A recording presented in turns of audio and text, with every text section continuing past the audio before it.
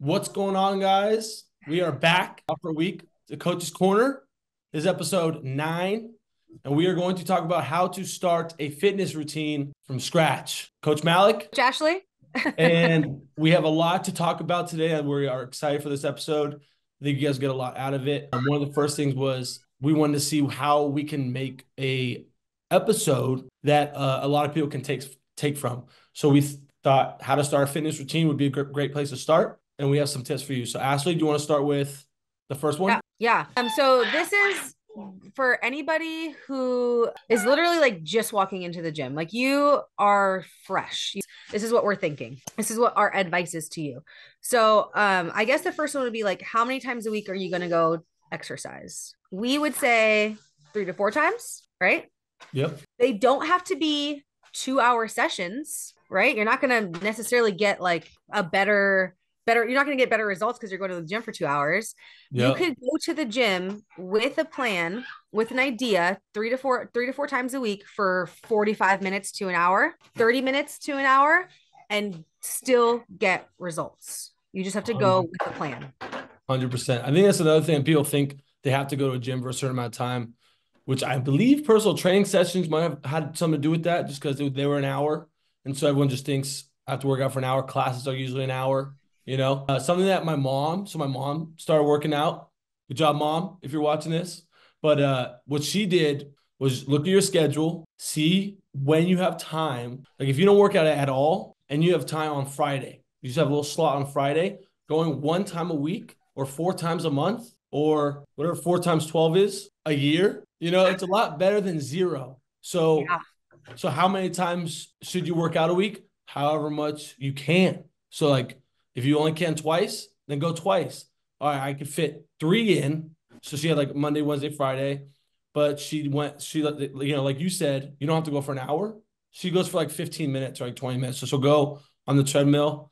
So like walk and she's, I think she's starting to do the incline now, 15, 30, about 45 minutes a week. And that's 45 minutes more than she did before. Dude, I love that. Yeah. I literally love that. The props mom. And she's I believe 68. So no excuse on the age, fitness level. She's always like, "Oh, Malek, I can't do your videos because, you know, I can't work out." You know, but she's she's doing it. So even just a treadmill walk. I honestly think that's so good because, like you just said, it's better than zero doing nothing. But you can effectively go work out and get your body moving and do something okay for 15 to 20 minutes like yeah. i you could literally do a like two sets of like yeah. weights. yeah, that was the first one. How many times a week should you exercise? What number two is is what can you do, right? Do, do you want to talk about that for a little bit?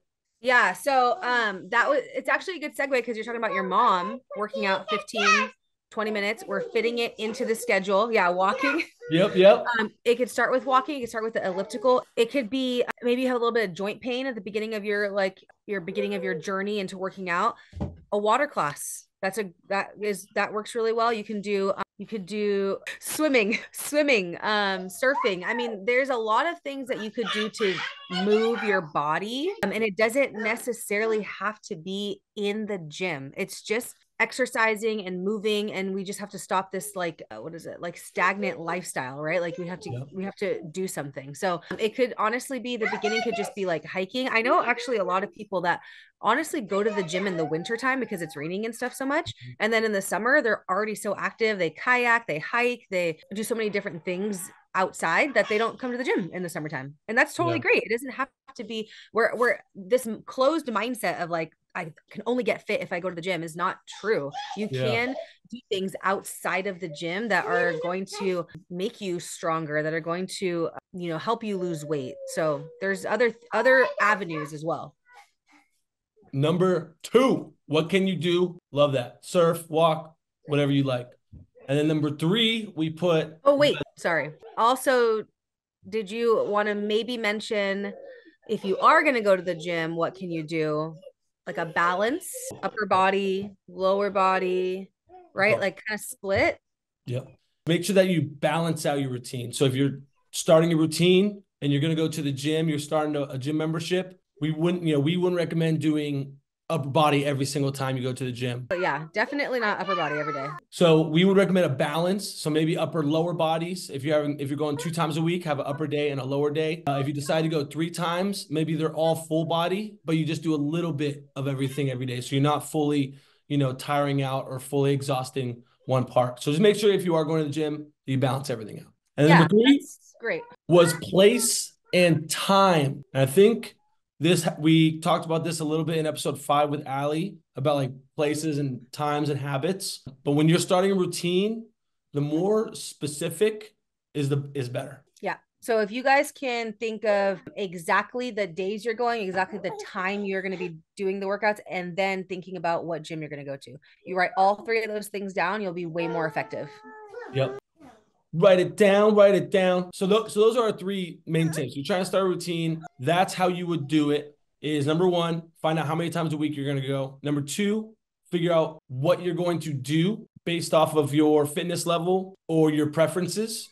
And then number three, have a place and have a time. And then yep. we, do you want to start with the common thoughts? Because this is something that we wanted to talk about too. Is when you do start, there's this common, uh, you know, themes that happen or common thoughts that happen, and we kind of were talking about that before. Yeah, we really wanted to bring this up with you guys because it seems to be something that people struggle with on their on the beginning of their journey. A lot of times when you first go to the gym, everyone is very concerned about what other people think other people are either looking at you other people are judging you other people are making fun of you like whatever it is but we our focus seems to not be on ourselves and it seems to be a, on other people and what their thoughts are about you. So a lot of times people won't show up again because they're embarrassed. They feel like they you know showed went to the gym showed up and did something wrong. So they don't want to come back because they're like i you know they're embarrassed that they did that. Um, they have like self-doubt and shame just from from honestly being in your own head.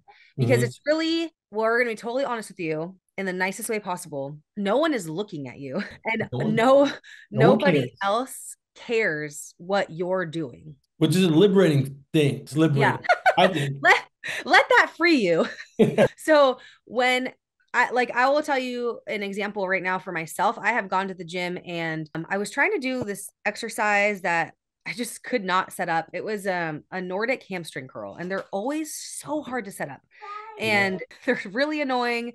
And I was sitting at the gym for like 10 minutes trying to figure out the right band, the right height, the right everything that I needed. And I was like, this is so I was honestly just annoyed and frustrated at myself.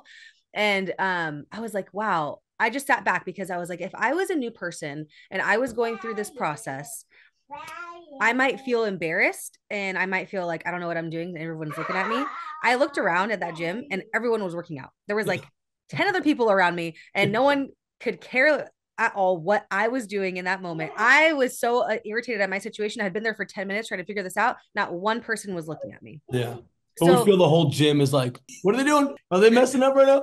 And they're not they're yeah. working out. Like yeah. to be totally honest with you guys they're working out. They're in there because they probably also have a very limited time to mm-hmm. hit, get to the gym and do what they need to do and they're trying to make the most of that time. So they're there working out. So what we encourage you guys to do is just show up and work out. Do what do what your plan is do what you want to do figure it out go to a machine ask someone. If you don't know how to use something ask someone and just do it and don't worry about what anyone else is thinking or doing because no one else like we said no one else really honestly is watching or cares and the asking thing is huge too because i think a lot of people are afraid to ask people like oh i don't want to bug them if you like most people are pretty nice in the gym it's, mm-hmm. like I've been in the gym, you've been in the gym. Online, there's a weird culture that's like making fun of people. They'll film people and they'll post so people are scared to do stuff, which is probably a very small, like a two to five percent of people. And like at my gym, I've never really seen it. They they film themselves, but it's never been like a you know a make fun thing. So when you go up or need a spot or something, or you have a question on like you see someone doing something that you want to do, say, hey, like, how do you do that? You know, uh, people are super nice in the gym. And here's the tip: the bigger, scarier they are, the nicer they probably are. I was gonna say, go up to like the buffest person in so nice. and they will always help you. And they'll be like, Yeah, no, actually, look here, and they give you they want to help. Yeah, Yeah. because they've been there. They started there, too. They started somewhere. Everyone starts somewhere, and you can't compare your beginning of your journey to they're at the, I mean, at the peak of their journey. You know, like Yep. you think that they're super buff and big, it's like because they've put in the time. Yep. Which segues into the next one. People get mad when they expect fast results because they have they see where other people are at. You want to go into that? Yeah. So what we encourage you to do is to give yourself like a six week period um, before you start to measure anything, like weight. Six weeks, yeah, because six days. Nope. Six weeks. Because you need time, your body needs time to change. And honestly, the gym, I honestly, the gym and working out can teach you so many life lessons. And I think a lot of people will tell you this that work out. It has tremendously helped them in their life because they realize that results don't come quick that you have to put in hard work that um success is not overnight like this all this gym stuff and everything you go through in the gym just really will show you and help you get through life better because success is not going to happen overnight for you. If you're trying to lose like anywhere from like 20 pounds and up, um, it's going to take you some time. You know, if you want, maybe you're like at the cusp, you're like at 10 pounds, and 10 pounds might not be too hard to lose. You might do that in like two months, Um, but anything anything if you like have 20 pounds and up like it's going to take you a while and learning that day in and day out you have to watch your diet you have to work out you have to lift weights you have to change your complete lifestyle from what you were doing to a new lifestyle so that you can maintain where, where you like maintain and continue where you want to go right like Yeah. it's just it helps you in so many other areas of your life as well so 100%. don't be so set on like a quick turnaround because I promise you, everyone in the gym that you see that has is at their peak of success, it took them a lot of time, especially to especially to build muscle. And Yeah. is to build muscle just is so hard and to maintain it is so hard. You have to be willing to put the work in. And we're gonna tell you right now, it's not easy and you're not gonna see a change overnight. So don't expect it and be willing to work for it. Yeah. Amen. Preach. Preach. Uh, to that point, though, is uh, so it does take a while. And then this is something I also said for some people, they get discouraged because they think it's going to take too long. It doesn't take as long as you think. So, what I like to combat that with is my friend just lost 100 pounds. Uh, I just saw him at the gym the other day. John Santos, shout out if you're watching this. Uh, he plays a guitar, Roxon James, a guitar. And uh, he got up to like 290. Now he's 170. He lost Dang, more than that's awesome. I lost more than like hundred pounds in a in a year, maybe a little bit more. But I was like, because I was asking, I was like, wait, what? Because I didn't. I used to train him back in the day. Actually, if I have a picture, I'll post it right here. But I uh, I had he was like, you know, probably 170, 180 then. I was like, you 290? I was like, no, wait, when was this? He's like, just about a year ago. I'm like, a year? So, and he's, you know, 20, maybe 24, 25. So he's young. So he he, he might have done, you know, some stuff that's a little extreme. You know, he, he was still athletic. So he was able to do some stuff. But that's a lot of weight. People might think, oh, it's impossible for me to do this. You can do this. You know, if you have to lose 50 pounds or 60 pounds, you know, it might not take five, six years as long as you think. It might just have that one solid 12 months, solid, you know, year of focus and discipline. And you could really 360 your body type. And then I wanted to also talk about the 10 pounds. Sorry. The because t- the, the last 10 pounds that we, you said, even then is going to be hard. Like if you just have 10 pounds to lose, usually if you just have 10 pounds to lose, that's the last 10 pounds. And that's always like the hardest. You know what I mean? Yeah, it's true. Would you agree or That's- disagree? I actually I was thinking the first 10 pounds, you're thinking the last 10 pounds. So Yeah. the first 10 pounds might be easy, Yeah. but you're right. When you're when you're on a health journey and you have those last 10 pounds to lose, it's so frustrating. oh, it's yeah. like it's like they're stuck. stuck Yeah. like duct tape, like just on there, you know? But that's where kind of like your friend, the focus and the discipline has to come in because that last Yeah. 10 pounds is going to be your hardest. So you have to change something. Usually it means you have to shift that what you were doing worked, but now your body needs a change. Yeah. Shift shift and try something new and do something different and you know change up your fitness routine change up your diet. Maybe you're gonna have to add some more protein. Really you have to that i think that that point that last 10 pounds comes to a self-examination and you have to analyze what you're doing so you can figure out what you have to change to get to those last 10 pounds.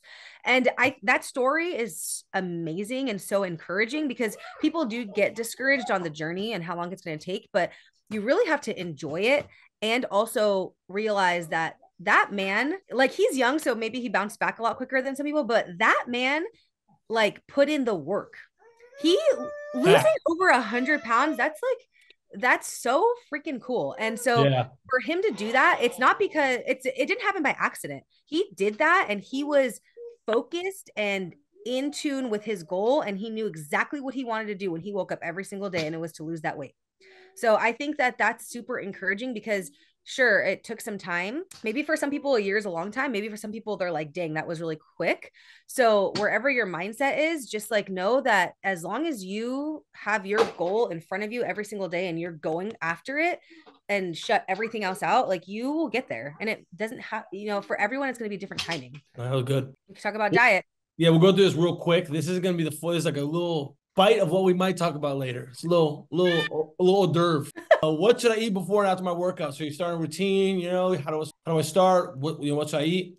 I said carbs before, protein after. Those are two things. Where it's like get a little carbs before, have your have your protein after. Usually, you know, within a day, you want one pound per pound of body weight in, in grams of protein. So if you weigh 110, you're gonna want to have about 110 grams of protein. If you are 200, you're going to want at least about 200 grams of protein, maybe 180. And then I would say for carbs, equal that in grams. So if you have 200 protein, have 200 carbs. If you have, you know, 150, uh, and this is to lose weight. If you're trying to gain weight, maybe, you know, more carbs. But, and then fats, just healthy avocado, olive oil, almonds, nuts, things like that. So that's my recommendation on eating before and after a workout. Perfect. And we can dive into that next time for you guys if you have more questions and you can let us know what questions you have and what specifically yep. you'd like us. Maybe Comment. we talk about on the next episode on what to eat before and after. And like we can dive into like specifics, like, you know, what your mm. plate could look like, um, timing of all that stuff. Do you do Quick anything meals. else before the before your workout? Lastly, before we end, I just want to recommend this pre-workout. I'm not paid to do any of this. this is not uh, sponsored, but I've been drinking it lately, and uh, I'll tell, always say if I'm sponsored or some or like whatever if it's a sponsor. But this is not. I got this from Vitamin Shoppe, and I asked the guy. So shout out to the guy, Vitamin Shoppe in is it Larkspur? Would it be Larkspur? I yeah, so. I'm just I'm just gonna say Larkspur. He helped me out. I was like, hey, I need it pre workout. I drink a lot of coffee and caffeine, so I didn't I didn't want a stimulant one because it's whatever. And he and I but I wanted a pump. I wanted a pump still. Like you know when you go to the gym, you get the pump. He recommended me this Gorilla Gorilla Mode Nitric free. And I'm doing a video, so maybe I'll put it on this one. But the uh, it's pretty it's pretty good. It's uh this one is lemonade orange. Does it have creatine? Orange Crush. Yes. So the ingredients are it has L-citrulline, it has creatine, it has a uh, two, 25 milligrams, so 2.5 grams. If you put two scoops, that's five grams, which is usually about what people take. It has betaine uh, anhydrous. Basically, what I know is the L-citrulline and the creatine is what I wanted, and then yeah. um, has GlycerPump, which is I think something to help with the pump. Malic acid. I'm not even lying. It has malic acid, but, it's not spelled my name, but it is malic. Agmatine sulfate, nitrocine, see the sodium nitrate, so salt, which helps with the pump too. I probably should be. I'm probably. I mean, I will get more educated on these because you that's know great. Some, some of these names aren't. I just don't know what they are. But no, that's super good, and I like that you actually chose something that wasn't a stimulant because you do already drink coffee. I do drink a lot of it, so it's non-stimulant. I have my coffee. I've been doing a lot of milk, uh, not milkshake, uh, smoothies lately. The berry smoothies. We could talk definitely add it. We're gonna talk about smoothies and all that stuff for you guys next time. Mm-hmm. You need to link that because I really like that. I will. I will link down below somewhere. Thank you guys for. So we'll end it here. Yeah. You have any, any final thoughts? Um, no final thoughts. I think we covered it. I think we covered it well. You guys let us know because we can again dive into it next week. And just remember, there's gonna be times you're not gonna want to do a workout or eat well, and you're gonna want to go back to the old lifestyle. Keep going. Remember, consistency is key. And it's all about your habits because the motivation's not the motivation doesn't happen every single day, but when you have those habits, those will keep you going every single day. So you just got to get those ingrained and you guys will definitely see results as long as you continue. Facts. She agrees.